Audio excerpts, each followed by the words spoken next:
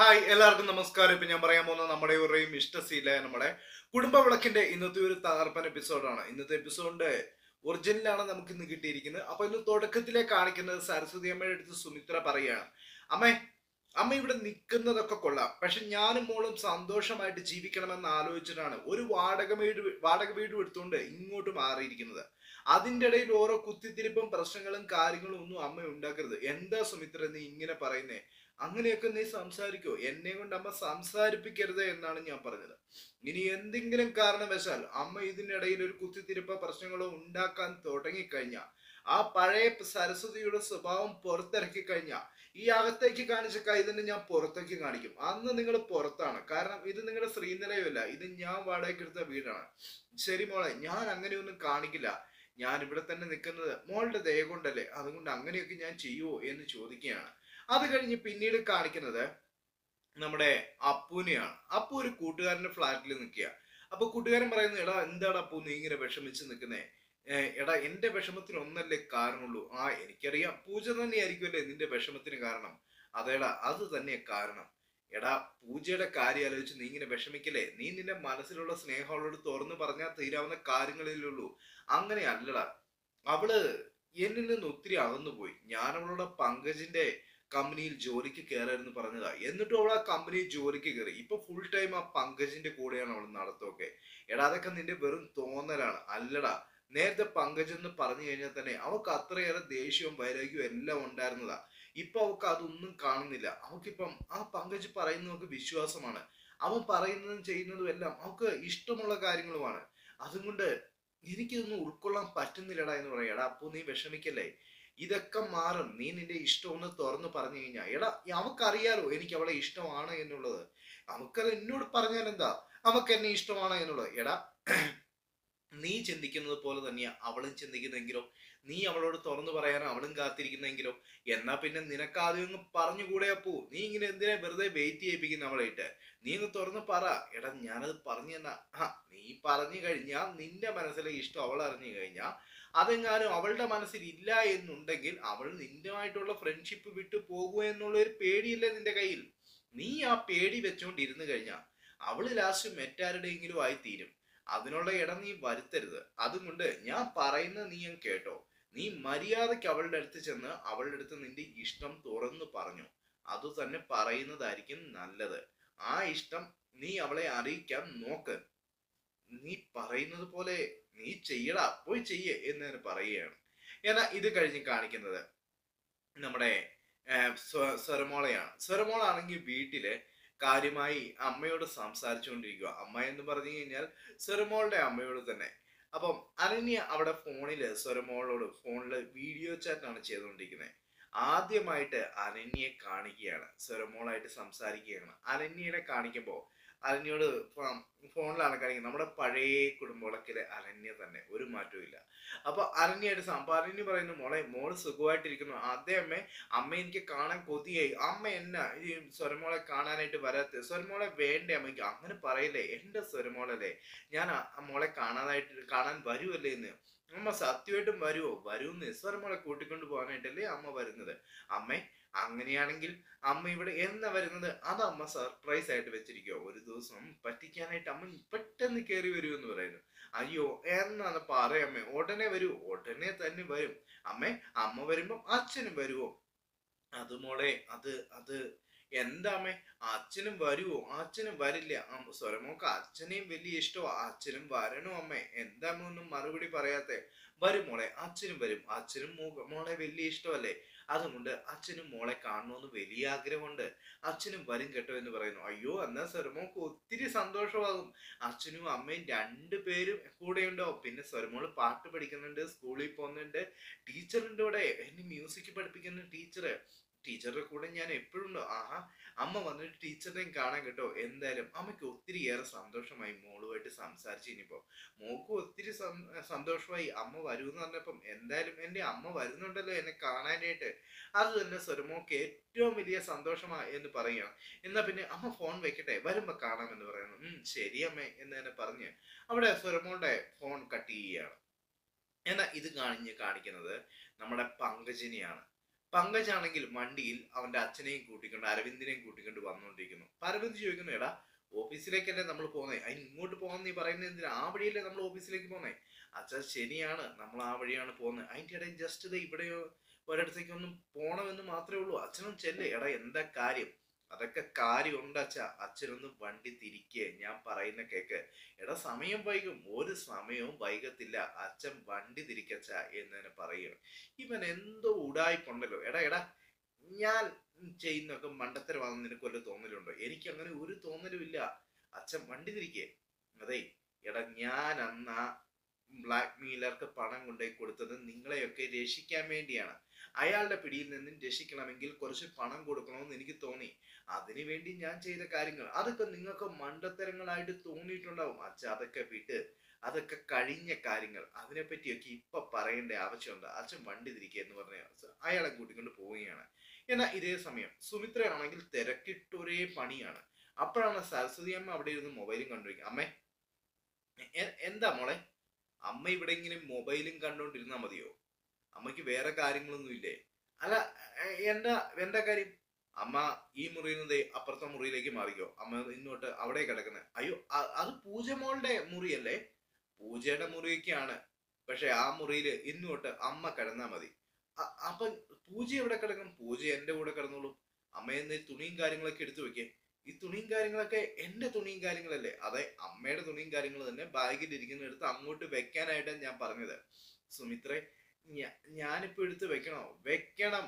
പിന്നെ വെക്കാണ്ട് ഓരോ കാര്യങ്ങളും ചെയ്തുകൊണ്ട് ഇങ്ങനെ ചുമ്മാ ഇരുന്നാൽ മതിയോ? മൊബൈൽ പൂജയുടെ അല്ലേ ഇതെങ്ങനെ അമ്മയുടെ കയ്യിലെത്തി? ആ അത് പൂജ മോൾ എന്റെ കയ്യിൽ വീഡിയോ കണ്ട് തന്നോളാം തന്നോളാൻ പറഞ്ഞുകൊണ്ട് തന്നതാ. ഞാൻ വെറുതെ എന്തെങ്കിലും എന്റർടൈൻമെന്റ് ചെയ്തിരിക്കുന്നത് കാണാനായിട്ട് പൂജ മോൾ എന്റെ തന്നതാണ്. ഓ അങ്ങനെ നേരം പോക്കനാണെങ്കിൽ തുണിയൊക്കെ എടുത്തു വെച്ചേ.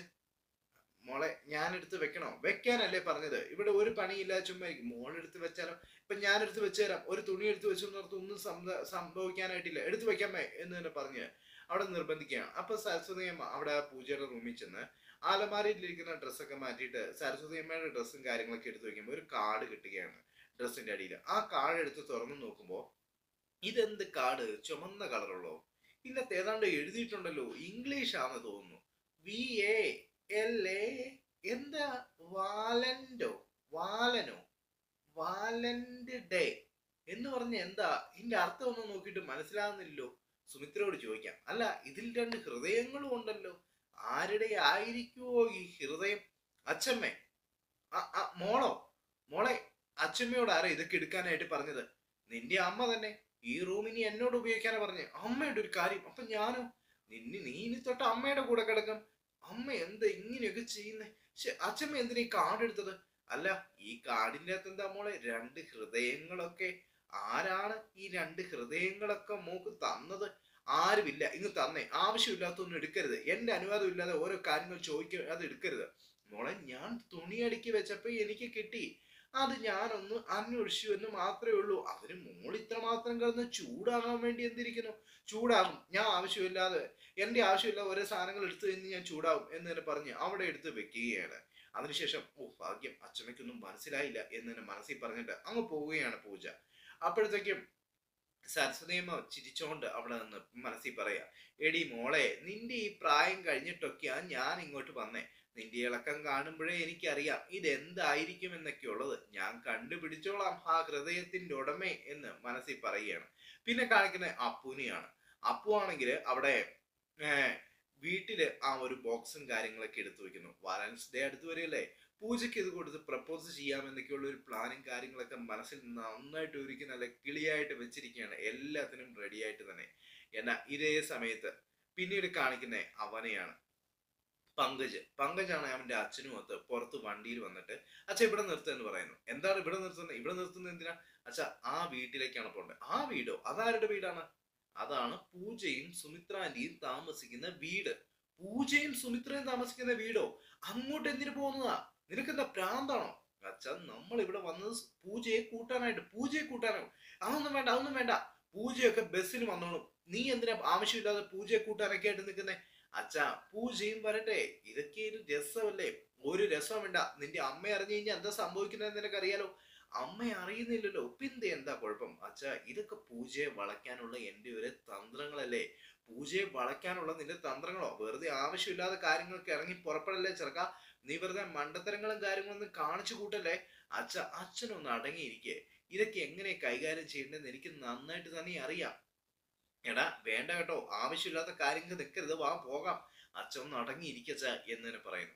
ഈ സമയത്ത് സരസ്വതി അമ്മയുടെ അവിടെ നിന്ന് മൊബൈൽ കണ്ട് പൊട്ടിച്ചിരിച്ചുകൊണ്ടേയിരിക്കുന്നു. കോമഡി കണ്ട് സുമിത്ര ആണെങ്കിൽ വരുമ്പോ പൂജ അമ്മേ എന്താ മോളെ? എന്റെ ടിഫിൻ ബോക്സ് കണ്ടോ?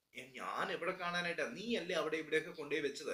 എന്നിട്ട് ഇപ്പൊ എന്നോട് ചോദിച്ചു ഞാൻ എന്ത് പറയാനുണ്ട്? ആ കണ്ടില്ല ഞാൻ അവിടെ ഇവിടെ എന്റെ ദൈവമേ ഇന്നിപ്പൊ ഞാൻ ഓഫീസിലേക്ക് ചെല്ലുമ്പോൾ വായിക്കും ഒരു കാരണം ഉണ്ടാക്കാൻ വേണ്ടി നോക്കിയിരിക്കും അവർ വഴുക്ക് പറയാനായിട്ട്. ഇന്ന് ഞാൻ ശരിക്കും അവരുടെ വായിലിരിക്കുന്ന കേൾക്കും. എന്റെ ചുരിദാർ അയഞ്ച് പോലും ചെയ്തിട്ടില്ല. അമ്മ ഇത് ഒന്ന് അയഞ്ച് ചെയ്ത് താമേ. ഉം ശരി. എനിക്ക് എനിക്കും സ്കൂളിലേക്ക് പോണ്ട മോളെ. അമ്മ പ്ലീസ് അമ്മ ശരി ഇങ്ങ് കൊണ്ട. അപ്പോഴത്തേക്കും സരസ്വതി അമ്മ അവിടെ ഇരുന്ന് പൊട്ടിച്ചിരിക്കുകയാണ്.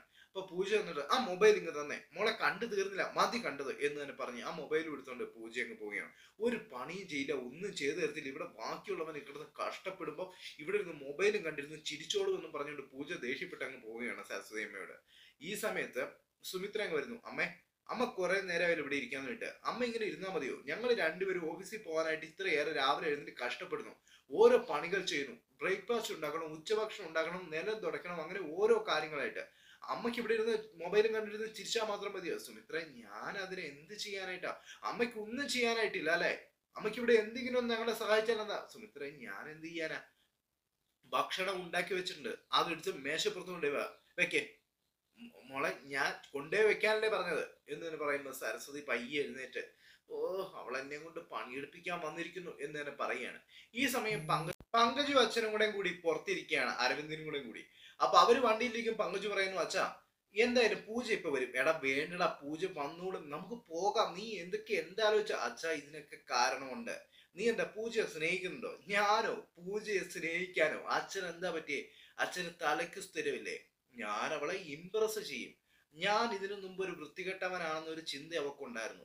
അവ- അവൾ ഇനി ചിന്തിക്കും ഞാൻ നല്ലവനാണ് എന്ന്. എന്റെ ഓരോ പ്രവൃത്തിയും കണ്ട് അവക്ക് എന്നോട് ഇഷ്ടം തോന്നും. ആ ഇഷ്ടം അവൾ എന്നോട് തുറന്നു പറയും.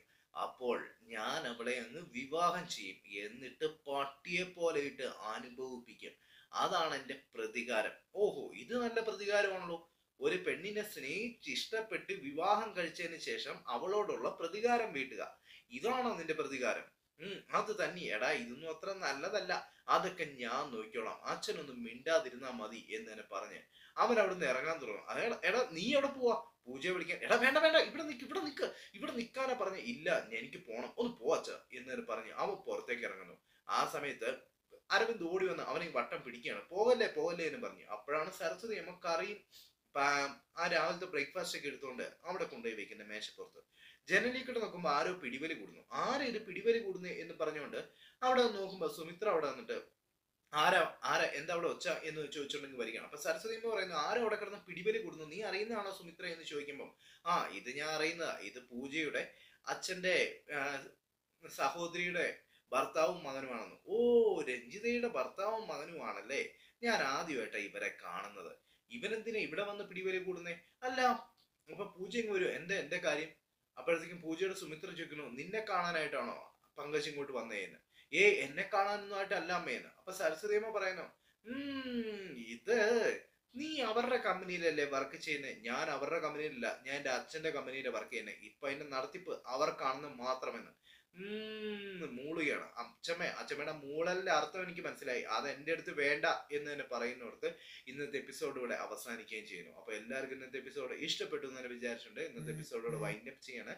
Thanks for watching my video this is സാംസാനിങ് bye bye Tata